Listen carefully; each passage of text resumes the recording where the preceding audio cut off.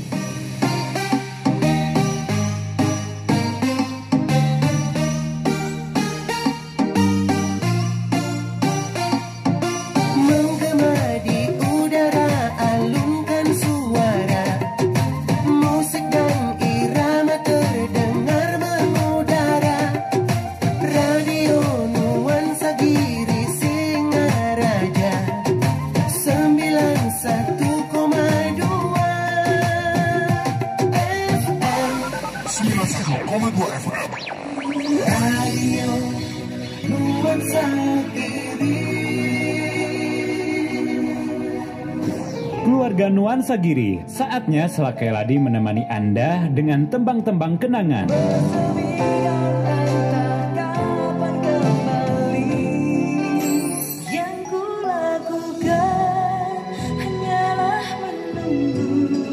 Selakai Ladi, setiap Senin sampai Sabtu, jam 12 siang sampai jam 3 sore. Aku menunggu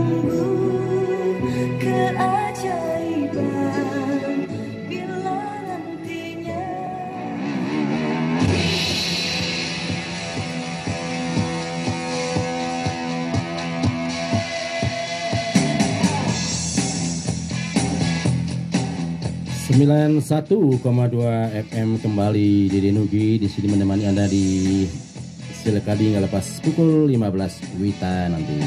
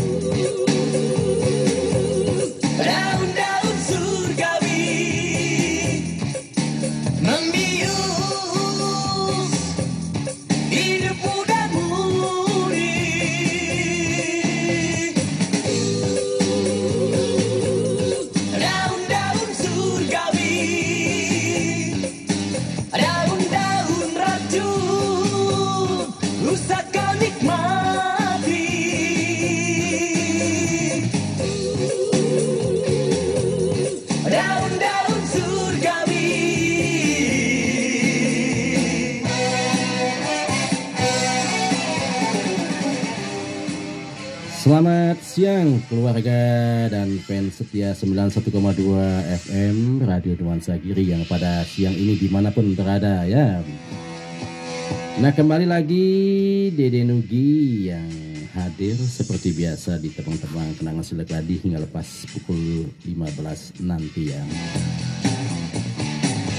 Nah bagaimana dulu nih kabarnya buat semua pendengar setia Radio Nuansa Giri pada siang ini ya.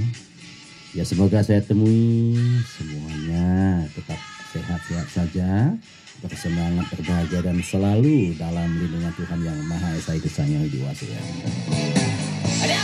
Nah di awal perjumpaan kita di hari Rabu ya 13 September 2023 ini ya. Untuk cuaca di studio Radio Nuansa Giri cerah sekali ya, secerah dede juga pada siang ini ya. Mengawali perjumpaan kita pada siang yang sempurna ini, ya kami awali dengan aliran suaranya Bangkit Sanjaya dengan tembangnya Daun-Daun Sorga ya.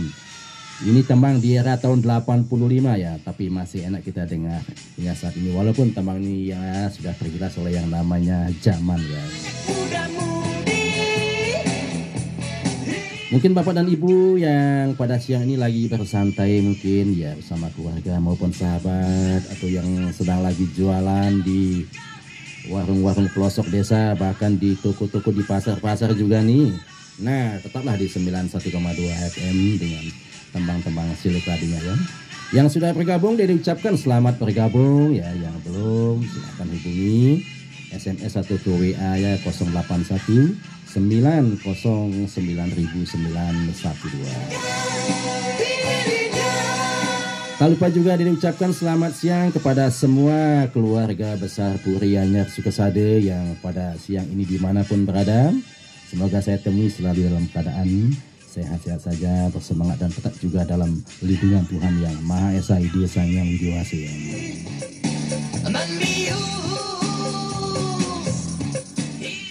Nah sebelum Dede akan bacakan ya ini SMS-nya dan WA yang sudah banyak sekali masuk ini ya.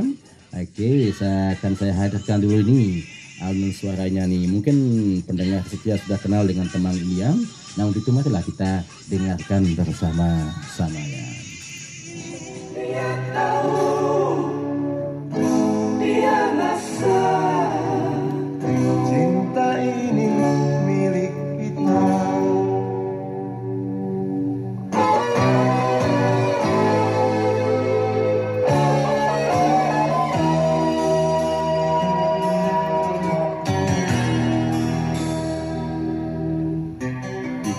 Kantin depan kelasku.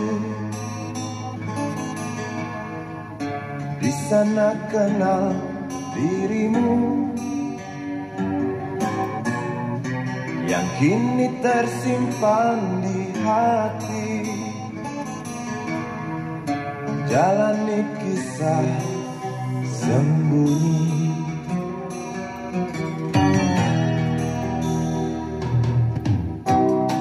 Di halte